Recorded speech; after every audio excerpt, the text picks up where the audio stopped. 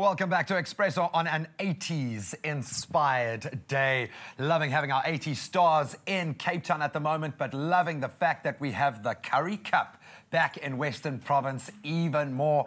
11 years it's taken, but what an achievement. Joining us in studio, Louis Schreuder and Joe Pietersen.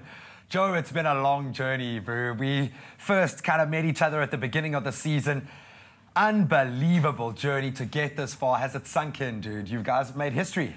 Yeah, I mean, it's, it's been a long time coming. Uh, we've had it, we haven't had it for 11 years, and I mean, most of us were still at school when it was lost in Cape Town, and um, it's lekker to have it here. Louis, you were definitely still in school back then. How does it feel, man, as one of the, the young players coming through the ranks, to, to have your guys' names etched on the trophy, man? What does it feel like? Geez, uh, it's like uh, a dream come true for me like youngster, sitting at school watching the guys play for Western Province and winning it last in 2001. So, yeah, just awesome feeling and yeah. How, how are you guys feeling, man? we've had we've had one or two lemonades over the yeah. last few days, so it's been fun. Little little red ambulance. Well, one person who couldn't be prouder is mm. Allister Coetzee, and he has spoken a lot about what he is wanting to achieve with Western Province rugby, and clearly something is clicking. Let's hear from him. No, no, no, not really. It's, it's definitely easier than the chicken licken advert. Very easier than that. Um, we, we think that uh, all along trophies have become important in Cape Town. For me, it was, was building a culture in Cape Town, trying to build a culture of winning rugby, trying to build a culture of players to come to Western Province not for big money, but players that want to come and be part of that culture and, uh, and, and make sure that our, our, our, systems are sort of united from uh, top down. And, and the Oaks at the bottom know that they must produce players for Currie Cup and Super Rugby. And I think that is the culture that, that, that is really starting to, to grow there. I mean, our under 19s, with they were a bit depleted. Uh, because our under 21s took a couple of theirs and under 21s depleted, we've taken, you know. But in the end of the day, that's what we want to players to play for the Currie Cup and and and uh, and, this, and, and the Super Rugby side. Well, Allister clearly relieved with the way the season had turned out, but I could see he was quite relaxed a couple of weeks back. Something seemed to click. The semi-final tense, but the concentration held out until the last second, and that's when it was won.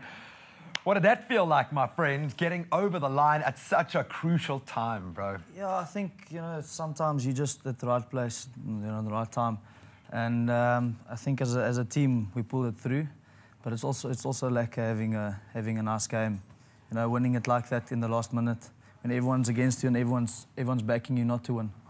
That was the story of the season. I mean, the Lions, they taught us all a lesson in playing for your team and not for the big bucks, not for the titles, but for each other. And that was something that Western Province seemed to latch onto.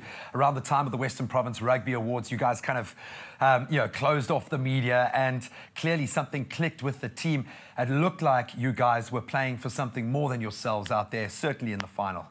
I think that's what we got right this year. Like, we're a bunch of young guys and um, good friends, so we clicked together and, and, yeah, and just made it our goal to win this this year and went all the way, luckily for us. Because all bets were off. I mean, injuries were coming at such a regular basis, even through the Super 15 season. It just meant, and you're one of those players that often has to kind of shift position or just fill those gaps. But we've had youngsters coming through that have had to step up and hit the ground running. There's no time to, to build up, eh? Yeah, we've got a team where everyone knows exactly what's expected of them, and young guys like Louis coming through um, who's a good passer at nine, can also play 10, you know, get the ball wide to the, to the speedsters like, like Gio and Brian. So it's, it's lucky to have guys that's versatile. So what does this mean now for the squad, man? What does it mean for you, Louis? What are you? What's next in your your uh, sort of rugby focus, man? Do you give yourself a bit of time to savor the moment, or is it straight back to the, the drawing board? I think I'll probably take this week just to like let it sink in, and then yeah, get back to the drawing boards and from there and for onwards and upwards next year. And yeah, we need more cups. Eh? We need more wins. And yeah. Now there is a culture created around Western Province rugby and the style of play. And we saw it coming in with the defensive performance. Titanic in the final, and I think that might have been one of the factors that broke the spirits of the Sharks was the fact that they just couldn't cross your line. What would you say typifies Western Province rugby at the moment? What is really working for you guys? Well, definitely, uh, defence is a massive part of our of our of our game, um, and we've evolved. I think over the co last couple of years with our co coach uh, Jacques but also we've got I think back in back in the 80s there was also this this running style nice rugby. reference, Just bringing, Joe. just bringing, nice reference, bringing the 80s back in there. but back in back in the day, the the rugby vibe was also that that you know that running style rugby, and I think we've made it part of our DNA at the moment to try and get that back in in the game.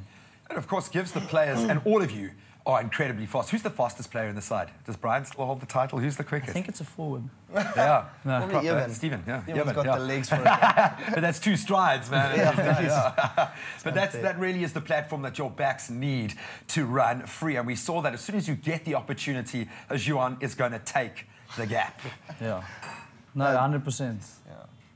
Juan is an awesome, like, balanced player and he steps well from both feet. So, yeah, any small gap, he'll take that and, yeah, just step in your face.